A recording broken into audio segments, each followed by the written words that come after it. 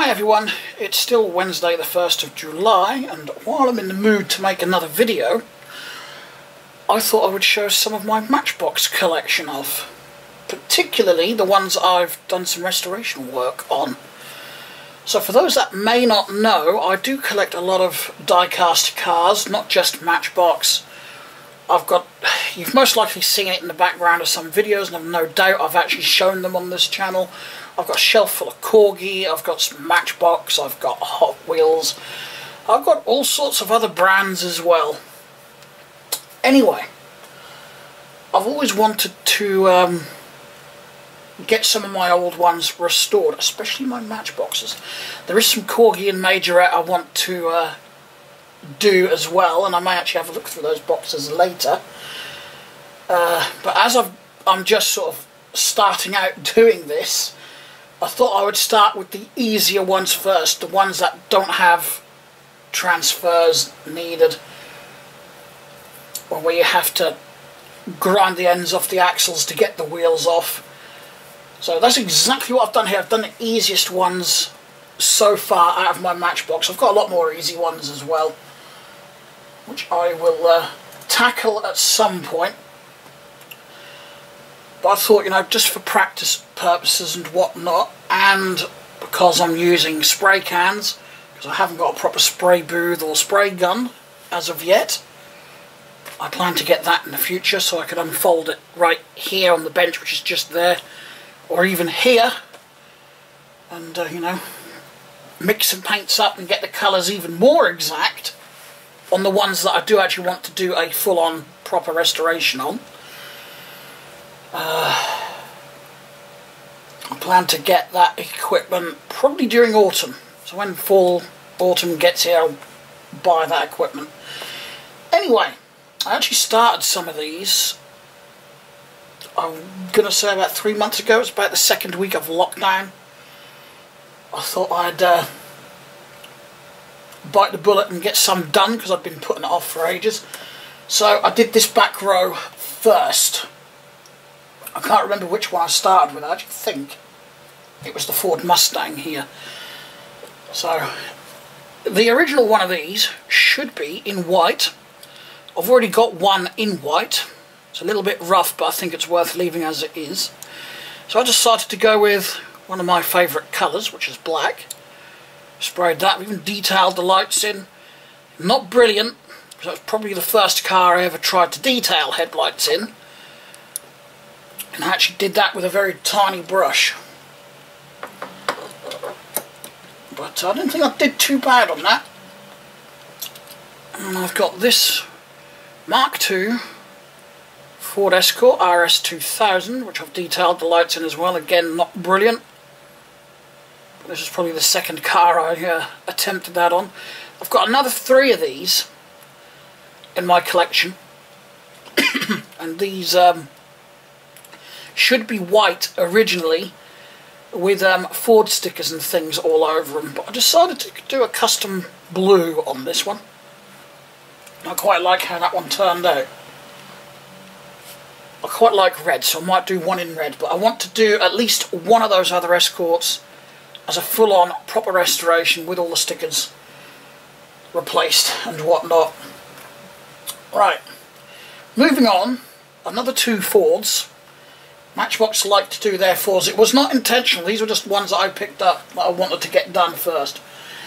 So here's, I think it's a Mark III Cortina. I did in red. Its original colour was red, but nowhere near this shade. It was just the only red I had when I was uh, doing this one. Should be a lot, lot darker than that. More of a metallic. And I've got another one here, which is exactly the same, but in gold not quite the original shade of gold, but again as close as I had. So I've kept it in the same colour bracket, just a different shade of it. Same with the uh, Rolls Royce here. Um, the plastic chrome front was a bit worn, so I've gone over that with a, a, uh, silver paint pen, which was here somewhere, it's disappeared again. Probably chucked over there somewhere out of the way. Well, that's come out quite nice. There's a bit of a blemish on this fender here because uh, I messed up the paintwork and really did not feel like um, stripping it down again. Next, we've got this lovely looking AMX Javelin in red, which was its original colour, and to be honest, that shade of red's not far off from its original colour. Is missing the tow hook, that was already broken off. I've got two more of these in green, and I'm sure I had a blue one somewhere, but I can't find it. Um, I'd like to do at least one of the green ones back to its green, but where I get my spray cans from, they have nothing even close to that shade of green, so that may have to wait until I can mix paints. And the last one that I did a couple of months ago is this Volvo, which I'm going to redo because I really am not happy with that one. The paintwork itself took me about four attempts of stripping the paint off and starting again, and I've still missed bits and I've got chip down there as well. I'm not happy with how the wheels came out, so I used my gold paint pen on those just to be different. And the headlights are actually not as bad as I thought they were when I touched those up. I thought they were worse than that. But to make things even worse, I broke the rear window. And I had to glue it back together, but it shows really badly. So that one's going to get redone at some point. I just need to find a couple more scruffy Volvos to, um, well, either restore, I'll either restore another scruffy, scruffy Volvo and use that one for parts, or use the parts from another one on there. uh, excuse me for a moment, I'm going to pause the camera because I want to go and get a drink. I've got a scratchy throat. Right, I'm back with me drink. So, these ones are what I've done over the past week or so. In, they're not lined up in any particular order or anything. In fact, these two I well, I finished this one this morning that one yesterday, which I've been working on since Sunday because that was one that just did not want to play ball. Anyway, I'm going to start with the end closest to me. So I've got a Mark 1 Ford Transit truck. I'm a bit pissed off because I've noticed a little chip right there. And the disadvantage with using spray cans is you haven't got a little pot or anything just to dip a brush in just to touch that in. I did dab a couple of silver dots on the headlights just to highlight them. It's a, a little bit lighter than the original orange. It's a bit difficult when all you've got to go by is the colour of the cap and that's never an exact match for what the paint actually is. Well, it came out quite nice. I just need to get the um, pallets that go on the back there. There's some boxes or something that go on the back. Um, which you can actually buy. There is a website, and I can't remember the name of it off the top of my head. But um, they do sell a bunch of spares for a lot of Matchbox cars, especially for this sort of era. So, move on to the, I think, it's a Ford Gritter truck which is back into its original red and yellow colour. Don't like those wheels. I might have to pry that base off of there and change those wheels. Um, or I could just go over them with some black paint and redo the centre caps. Because I tried to do the centres chrome and it went a bit wide because I made a mistake. Slipped with me uh, paint pen. I thought I'd just go a little bit wide. Doesn't look too bad, but I just don't like them don't know, I might just leave it as it is yet. That's uh, debatable or questionable what I'm going to do with that, I don't know. I think I'm just shooting random words out there now.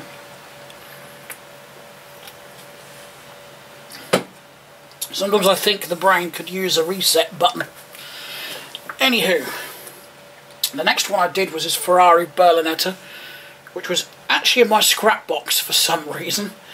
It was missing the front pair of wheels, so I had to find a pair of wheels. I have actually coloured the proper... That's what the wheels on them trucks are supposed to look like. On that Gritter truck, sorry. With just the centre bits painted chrome. I also went over the bumpers and just chromed those with my pen. But uh, it was red originally, I don't think it's actually far off from the original red. It does look quite nice. I'm actually really happy with that. Uh, unlike a lot of the restorers online I watch where they drill out the rivet post and put a screw in, I'm actually gluing mine because again I actually haven't got the uh, the tap and die that I need or a drill bit or anything like that. I really could do with a small hand vise that I can put on here to put these in. That'll make life a lot easier as well. Uh, so I've still got quite a bit of equipment I want to invest in because I've got hundreds of cars in my collection that I could do this with. Anyway, next up, two little Austin 1100s. Now this one I've done a custom paint job on, and by that I mean I picked a colour for it. That's not the original colour at all. It was blue originally, but nowhere near that shade of blue. and again, is what the wheels are meant to look like.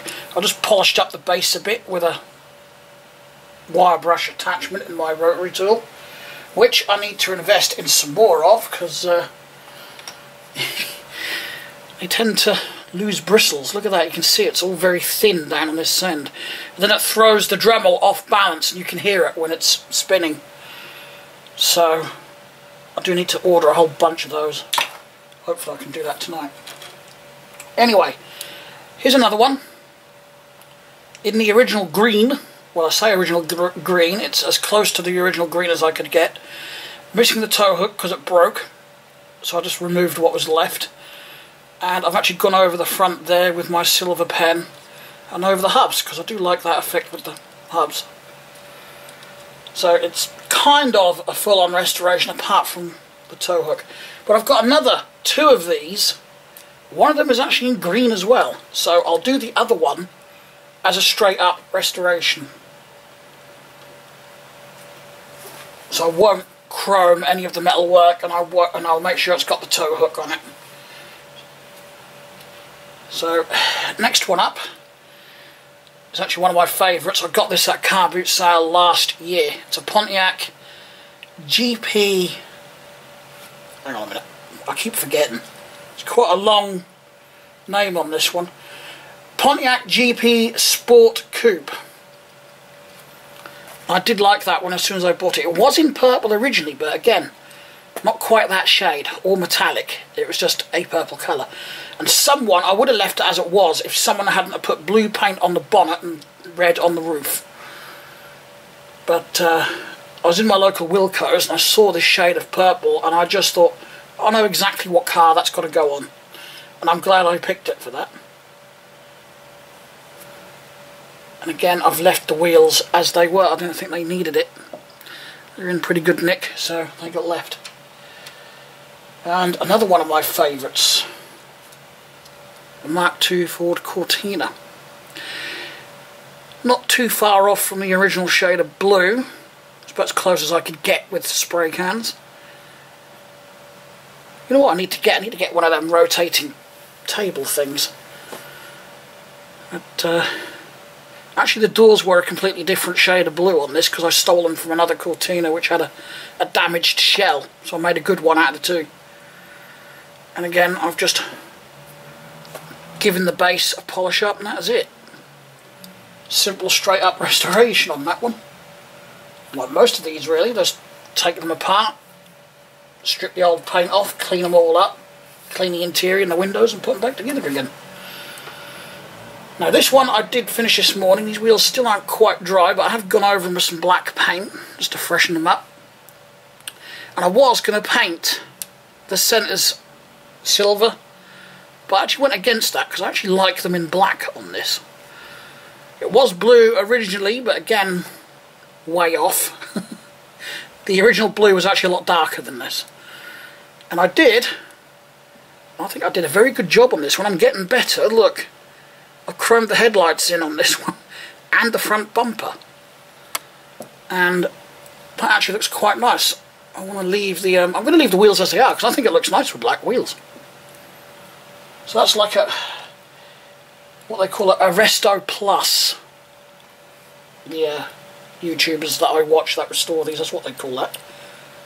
Oh. my base didn't stick. I did put some glue on there, but it hasn't stuck. Stuck at the front, but not the back. So this one was a complete pain in my ass to do.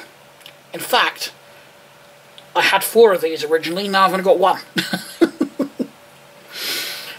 one of them, or the original shell for this base, was completely wrecked. In fact, have I still got it over here? They are here somewhere. The original shell for this was sitting here, but I think I... Ah, here it is. Right. There's the original shell. Not on its base. You can see why I changed it. But uh, I did have a different shell on this one. It wasn't this. This was on a complete car I was going to restore back to a, its original purple colour. But several things happened along the way. One, the original replacement shell broke. Even though I kept trying to glue it, I just couldn't get it to do what I wanted it to do, so I got pissed off with it. And I also broke one of the windows, one of the spare good windows I had. So I had to go and steal it from the good one of these anyway, and I thought I might as well just use the shell and put it on this chassis. Because I wanted one with these wheels. So that's exactly what I've done. And it took several attempts with the paint. At least one of those was a mess up on my part anyway, so... But uh, it's come out nice now, I'm actually happy with that. As you can see, it's not quite the same shade of red. I think I should have perhaps used that one, but I want to be a bit different anyway, because I've got a lot in this shade of red. See, I've got another one there, again, the busted shell.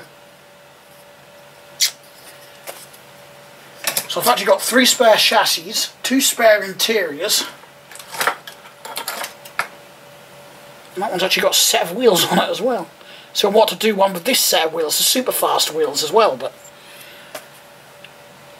it ended up being a choice with that base or this base with these wheels on and I opted for that one mainly because I do not have many Matchbox cars with that style of wheel on. So that's why that one got chosen. So I'm going to keep my eyes open for some more of those because I do like these Volkswagen castings I would love to get one so I can perhaps use this chassis Got some rust on my wheel actually, but I'll clean up. So that is it. At least up to date anyway. I do plan to do another one today. I haven't actually picked what I want to do yet. I might actually go and pick a majorette to be honest. Go through my box of majorettes and uh, see if I can pick a few out of there because I've done all matchboxes so far and I think I've done enough. In fact, I'm running out of room because I store them up. No, I'm not going to move that because it's all uh, set in that position. I'll make horrible creaky noises. But yeah, on the windows that are just there, on the little ledge, that's where I've been putting all these and I've actually run out of space. Because I've got a dozen or so up there that my stepdad did for me when he was doing such things for something to do about a year ago now.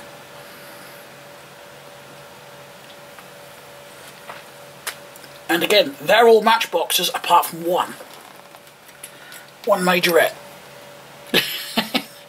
Citroen Dyane van. I've got a blue one of those. I wouldn't mind painting that back to blue.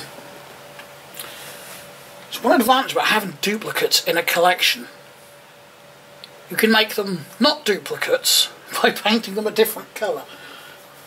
I can't remember what the colour of that white one was originally. I think it was a cream colour. Oh, that's bad. Right.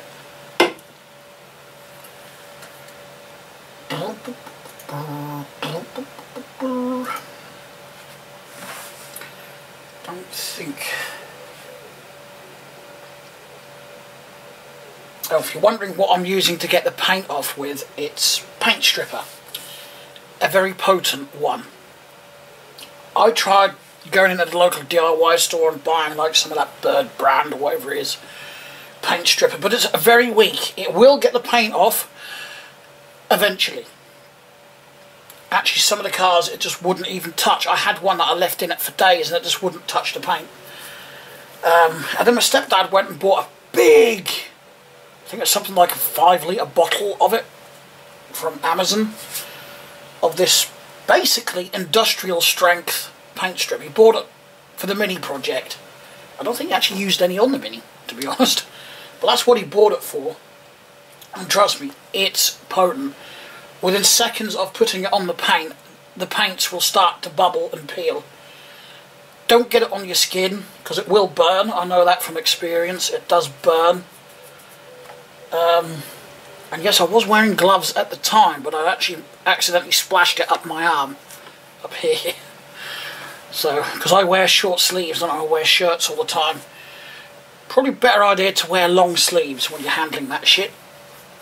And uh, don't use disposable gloves, use proper rubber gloves that you would use for cleaning and whatnot.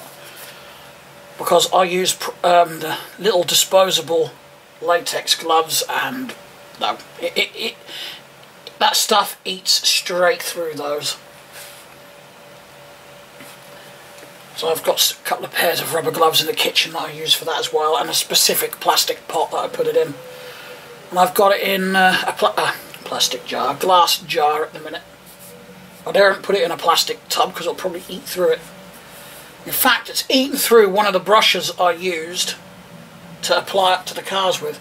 Although I've got another uh, um, better method now, I actually dunk the shells straight into the jar.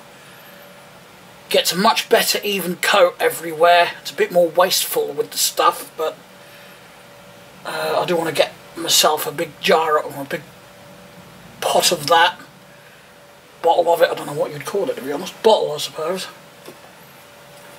What is wrong with my brain tonight? Tonight? This afternoon? Heck, I've just fast forwarded time. I think on that note, I'm going to end the video before I uh, go completely bananas, it seems. Anyway, so I hope you enjoyed this video. It's something different, at least. I don't really talk about my diecast collection that much. Um, I have actually got a YouTube channel for my diecast, but I've not uploaded anything to it yet. I don't know if I... Uh, will or if I'll just stick to having these on the main channel. That's there if I ever want to use it I suppose. Or I could just rename it and use it for something else. Now I'm just rambling so thanks a lot for watching. I hope you enjoyed the video and I'll talk to you again soon. Bye!